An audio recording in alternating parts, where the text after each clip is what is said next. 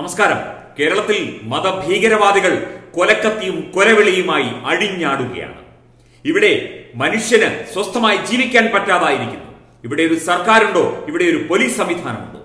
Popular front of ഇന്ത്യയുടെയും S D P ഐയുടെയും ഗുണ്ടകൾ തെരുവ് ഗുണ്ടകൾ കൊലപാതകികൾ ഇന്നലെ ആലപ്പുഴയിൽ അടിച്ചുവിട്ട അക്ര ആക്രമത്തിൽ ഒരു പിഞ്ചു ബാലനാണ് ഇരുപത്തിരണ്ട് വയസ്സുള്ള ഒരു പാവം യുവാവിനാണ് ജീവൻ നഷ്ടമായത്. നിരവധി പേർക്ക് പരിക്കേറ്റു.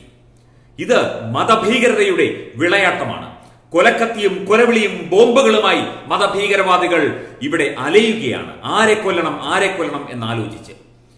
പോപ്പുലർ ഫ്രണ്ട് ഓഫ് ഇന്ത്യയുടെ പ്രവർത്തകർ ആയുധങ്ങളും ബോംബും തോക്കുമായി മലയാളികളായ പ്രവർത്തകർ പന്തളം സ്വദേശിയും പന്തളം സ്വദേശിയുമായ അൻഷാദ് ബദർദീനും കോഴിക്കോട് സ്വദേശിയായ ഫിറോസ് ഖാനും ബോംബുണ്ടാക്കുന്നതിലും അതുപോലെ കൊലപാതകത്തിലുമൊക്കെ ട്രെയിനിങ് നേടിയിട്ടുള്ള ഈ വ്യക്തികൾ ഉത്തർപ്രദേശ് പോലീസിന്റെ പിടിയിലായിട്ട് അധിക നാളുകളായില്ല.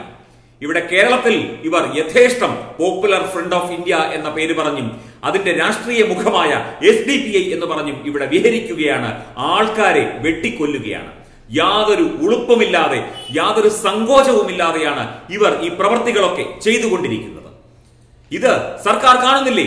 സി പി എമ്മും എസ് ഡി പി ഐയും പത്തനംതിട്ടയിലും മറ്റ് പല ഭാഗങ്ങളിലും ഒരുമിച്ച് പഞ്ചായത്ത് ഭരിക്കുന്നു അല്ലെങ്കിൽ ജില്ലാ പഞ്ചായത്ത് ഭരിക്കുന്നു. ഇവർക്ക് സർക്കാരും പോലീസും ഈ കൊലപാതകികൾക്ക് ഈ നിഷ്ഠൂരന്മാർക്ക് ഒത്താശ ചെയ്തു കൊടുക്കുകയാണോ?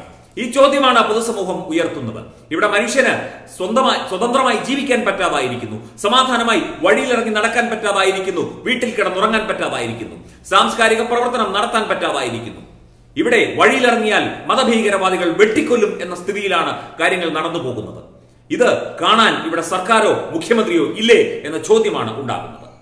കഴിഞ്ഞ ദിവസമാണ് ആലപ്പുഴ ജില്ലയിലെ നാഗംകുളങ്ങരയിൽ ആർ എസ് എസ് പ്രവർത്തകൻ മുഖ്യശിക്ഷകായ ശ്രീ നന്ദു അദ്ദേഹത്തെ അതിക്രൂരമായി വെട്ടിക്കൊന്നത് നിരവധി ആർ എസ് എസ് പ്രവർത്തകരെ വെട്ടി പരിക്കേൽപ്പിക്കുകയും ചെയ്തു ഈ മതഭീകരവാദികൾ.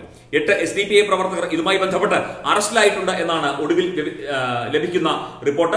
S D P I Vayalar Alappuzha Vayalar Nagamkulangara കവലയിൽ വെച്ചാണ് എസ് ഡി പി എ പ്രവർത്തകർ നന്ദുവിനെയും സഹപ്രവർത്തകരെയും ക്രൂരമായി ആക്രമിച്ച് കൊലപ്പെടുത്തിയത്. മൂന്ന് ആർ എസ് എസ് പ്രവർത്തകർക്ക് ഗുരുതരമായി പരിക്കേറ്റിട്ടുണ്ട്.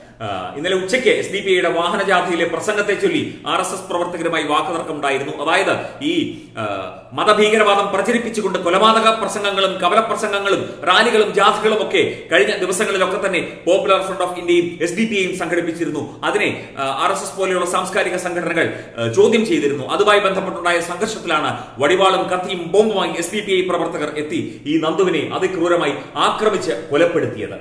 ഇത് തലയ്ക്ക് പിന്നിലേറ്റ ആഴത്തിലുള്ള മുറിവാണ് മരണകാരണമെന്നാണ് അറിയാൻ കഴിയുന്നത്. സംഘർഷത്തിൽ ഗുരുതരമായി പരിക്കേറ്റ മറ്റൊരു ആർ എസ് എസ് പ്രവർത്തകൻ അദ്ദേഹത്തിന്റെ പേര് നന്ദു എന്നാണ്. അദ്ദേഹത്തെ എറണാകുളത്തെ സ്വകാര്യ ആശുപത്രിയിൽ പ്രവേശിപ്പിച്ചിരിക്കുകയാണ്. വയലാറിലെ ഈ ഒരു സംഭവത്തിൽ എട്ട് S P popular front of India പ്രവർത്തകർ കസ്റ്റഡിയിലായിട്ടുണ്ട്. ഇരുപത്തിയഞ്ചിലധികം പേർ ചേർന്ന് കൂട്ടമായി ആർ എസ് എസ് പ്രവർത്തകരെ ആക്രമിക്കുകയായിരുന്നു എന്നാണ് പോലീസ് റിപ്പോർട്ട്. കൂടുതൽ പേരുടെ അറസ്റ്റ് അടുത്ത മണിക്കൂറുകളിൽ ഉണ്ടാകുമെന്നാണ് പോലീസ് പറയുന്നത്. ഫോറൻസിക് സംഘം സ്ഥലത്ത് പരിശോധന നടത്തുകയാണ്. കൊലപാതകത്തിന് ഉപയോഗിച്ചത് എന്ന് കരുതുന്ന രണ്ട് വടിവാളുകൾ ഉൾപ്പെടെ പ്രദേശത്ത് നിന്ന് കണ്ടെടുത്തിട്ടുണ്ട്. ഇവിടെ മതഭീകരവാദികൾ അഴിഞ്ഞാടുകയാണ്. ഇവിടെ ആൾക്കാരെ നടു റോട്ടിലിട്ട് വെട്ടിക്കൊല്ലുകയാണ്. ഇത് പ്രബുദ്ധ കേരളമാണ്. ഇവിടെ ഒരു സർക്കാരുണ്ടോ? ഇവിടെ ഒരു പോലീസ് ഉണ്ടോ എസ് ഡി പി ഐക്ക് സ്തുതി പാടാനല്ലാതെ പോപ്പുലർ ഫ്രണ്ട് ഓഫ് ഇന്ത്യയെ വാനോളം പുകഴ്ത്താനല്ലാതെ സി പി എമ്മിന് എന്ത് കഴിയും? കാരണം അവരുടെ കക്ഷത്തിനിടയിൽ കൊണ്ട തലവെച്ച് ഭരണം പിടിക്കുന്ന നാറിയ ചീഞ്ഞു നാറിയ തരം താണ രാഷ്ട്രീയം കളിക്കുന്ന സി പി എമ്മിന് ഇതിന് ഒന്നും പറയാൻ കഴിയില്ല. ഇവിടെ ഇവിടെ ഒരു ഭരണമുണ്ടോ. ഇവിടെ മനുഷ്യൻ വെട്ടേറ്റ് വീഴുകയാണ്. ഇവിടെ ചോരപ്പുഴ ഒഴുകുകയാണ്. മതഭീകരവാദികൾ ഇവിടെ ആനന്ദ നൃത്തമാടുകയാണ്. ചോരക്കളങ്ങൾ തീർക്കുകയാണ്. സർക്കാരിന് മറുപടിയുണ്ട്. മതഭീകരവാദം ഇല്ല ഇല്ല എന്ന് ആവർത്തിച്ചു പറയുന്ന പിണറായി വിജയൻ സർക്കാരിന് ഇതിന് മറുപടിയുണ്ട്.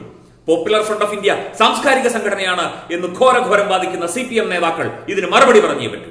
ഇവിടെ മനുഷ്യജീവനാണ് നഷ്ടമാകുന്നത് ഇരുപത്തിരണ്ട് വയസ്സുള്ള ഒരു ചെറുപ്പക്കാരൻ. എന്തെല്ലാം സ്വപ്നങ്ങൾ ഉണ്ടായിരുന്നിരിക്കണം ആ കുട്ടിക്ക്? ഇതൊന്നും ഇവിടെ അനുവദിക്കാൻ പാടില്ല. നടക്കില്ല ഇവിടെ. കേന്ദ്ര ആഭ്യന്തരമന്ത്രി അതുപോലെ തന്നെ കേന്ദ്ര ഏജൻസികൾ ഇന്റലിജൻസ് ബ്യൂറോ റോ അതുപോലെയുള്ള വിവിധ ഏജൻസികളുമായി ബന്ധപ്പെട്ട് ഇതിന് വേണ്ട നടപടിയും അന്വേഷണവും പരിഹാര നടപടികളും ഉടൻ കൈക്കൊള്ളണം എന്നാണ് പൊതുസമൂഹത്തിന് പറയാനുള്ളത്. നന്ദുവിന് തത്തുമൈ ടി വിയുടെ അശ്രുപൂജ. Web desk Thathumai news.